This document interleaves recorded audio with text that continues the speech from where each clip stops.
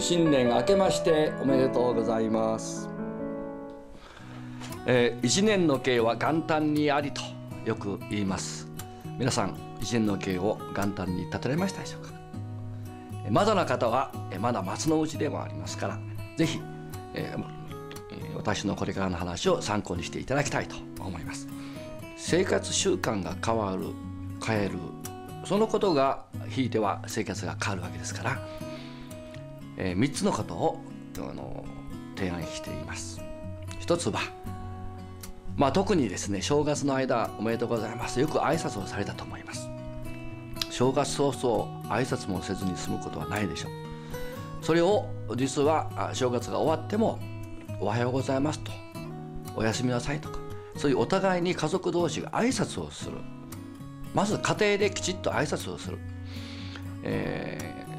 まあ、家を出ていく時は行って「行ってきます」とか「行ってまいります」とか「ただいま」とかですね。で寝る時に「おやすみなさい」という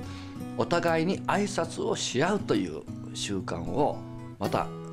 見つめ直していただきたいと思います、えー、それから正月の間は雑煮を食べたりしますので特に、えー、気分も新たですが、えー、それだけじゃなくて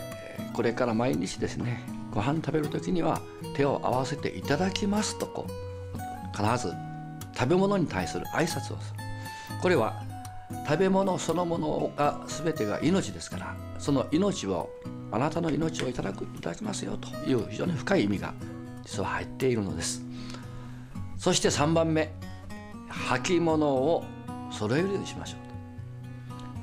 なんかそのえらい幼稚なことのようですけど意外とこれがねできてない家庭が多いのです。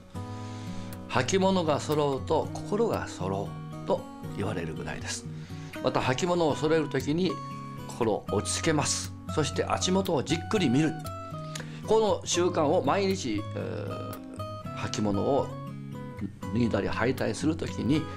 その時に、えー、心を落ち着かせるんだ。そのようにしていくと、えー、家族の同士のお互いの心が揃ってきます。このようにそれぞれの家庭でその家庭の約束事決まりごとそしてルールといいましょうか。そういう良き習慣の日をにしていただければありがたいと思います。